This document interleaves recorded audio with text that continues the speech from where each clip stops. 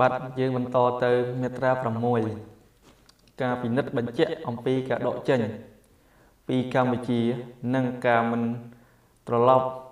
នៃកងកម្លាំងបរទេសគ្រប់ប្រភេទទាំងអស់1ក្នុងរយៈពេល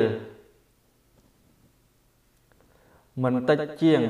2សប្តាហ៍ចាប់ពីការចាប់ផ្ដើមដំណាក់កាលទី2នៃការឈប់បាញ់គេត្រូវ ផ្ដល់ឲ្យអ៊ុនតាក់នៅ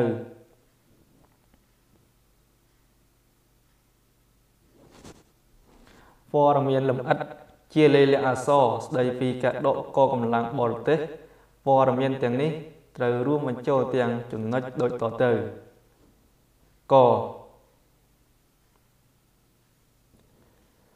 កម្លាំងសរុបការចាត់តាំងនិងការដាក់ពង្រាយនៃកងកម្លាំងទាំងនេះ ខបញ្ជីសរុបនៃគ្រឿងអាវុធក្របរំសេវនិងសម្ភារៈដែលកងកម្លាំងទាំងនេះ បានកាន់កាប់និងកន្លែងទីតាំងពិតប្រាកដនៃរបស់ទាំងអស់នោះកផែនការដកទ័ពចេញអនុវត្តហើយក្តីឬដែលនឹងត្រូវអនុវត្តរួមទាំងផ្លូវ ដកទ័ពចេញពីចំណុចឆ្លងព្រំដែននិងពេលវេលាចាក់ចេញពីកម្ពុជា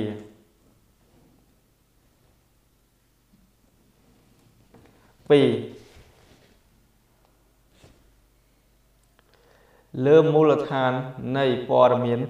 ដែលគេបានផ្ដល់ឲ្យស្របទៅតាមកថាខណ្ឌទី1ខាងលើនេះ អន្តៈនឹងធ្វើការស្រាវជ្រាវនិងស៊ើបអង្កេត តាមរបៀបដែលខ្លួនយល់ថាសមស្របភាគីដែលបានផ្ដល់ព័ត៌មានឲ្យត្រូវផ្ដល់បុគ្គលិករបស់ខ្លួនឲ្យចុងមេដំណើរអ្នកធ្វើការស្រាវជ្រាវអង្កេតរបស់អន្តៈ3 នៅពេលមានសេចក្តីបញ្ជាក់ថា មានវត្តមានកងកម្លាំងបរទេសណាមួយនោះអន្តៈនឹងដាក់ពង្រាយបុគ្គលិកយោធារបស់ខ្លួនជាបន្ទាន់ជាមួយនឹងកងកម្លាំងបរទេសហើយអមដំណើរដោយកម្លាំងបរទេសទាំងនោះដកហូតតលតែដកចេញ ទាំងនោះរហូតដល់តលតែដកចេញអស់ពីកម្ពុជាអន្តៈនឹងបង្កើតកន្លែងត្រួតពិនិត្យនៅតាមផ្លូវដកកងកម្លាំងចំណុចឆ្លងព្រំដែនអាកាសយានដ្ឋាន ដើម្បីពិនិត្យបញ្ជាក់ពីការដកនៃកងកម្លាំងនិងធានាថាកងកម្លាំងបរទេសគ្រប់ប្រភេទមិនវិលត្រឡប់មកវិញបានទេ4 គ្រប់ការងារយោធាចម្រុះដែលមានចែងនៅក្នុងមាត្រា2នៃឧបសម្ព័ន្ធនេះត្រូវជួយអន្តៈក្នុងការអនុវត្តភារកិច្ចដូចដែលមានចែងខាងលើនេះ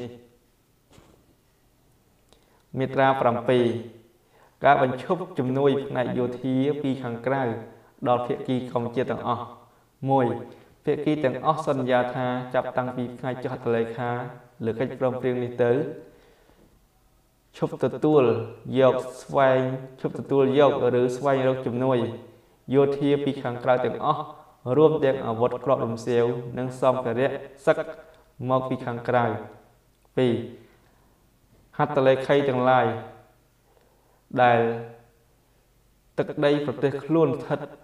ជាប់នឹងប្រទេសកម្ពុជា រដ្ឋាភិបាលនៃសាធារណរដ្ឋប្រជាមានិតប្រជាធិបតេយ្យឡាវរាជាណាចក្រថៃឡង់និងសាធារណរដ្ឋសង្គមនិយមវៀតណាម សន្យាថាកហាមឃាត់មិនអោយទឹកដីនៃប្រទេសរៀងរៀងខ្លួនរាប់ទាំងដែនដី ដែនសមុទ្រនិងដែនអាកាសកុំអោយ ប្រើប្រាស់ក្នុងបំណងផ្ដល់ជំនួយយោធារូបភាពណាមួយឲ្យដល់ភាគីកម្ពុជាឡើយការផ្ដល់ភ័ស្តុភារជាថ្មីដូចជាស្បៀងទឹកសម្លៀកបំពាក់និងសម្ភារៈពេទ្យតាមរយៈប្រទេសទាំងនោះនឹងត្រូវបានអនុញ្ញាតប៉ុន្តែត្រូវជាកម្មវត្ថុនៃការពិនិត្យរមើលរបស់អន្តៈ ពេលមកដល់កម្ពុជាដោយមិនធ្វើឲ្យប៉ះពាល់ដល់ប្រការនៃកថាខណ្ឌកខាងលើខាងក្រោមនេះទេ ចំណុចខបញ្ជាក់ជាលេខអក្សរទៅដល់មេបញ្ជាការកងយោធារបស់អន្តៈមិនអោយលើសពី ជាស្រ័យដឹងបានសប្តាហ៍មើលឃើញបន្ទាប់ពីចាប់ដើមដំណាក់កាលទី2នៃការឈប់បាញ់គ្នា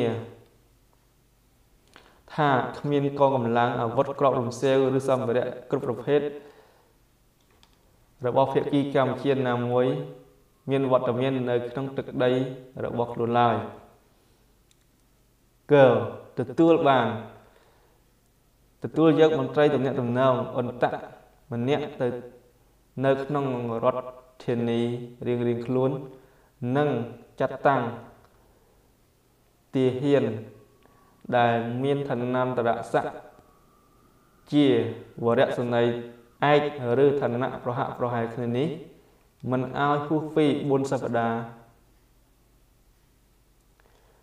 បន្ទាប់ពីការចាប់ផ្ដើមដំណាក់កាលទី2នៃការឈប់បាញ់គ្នា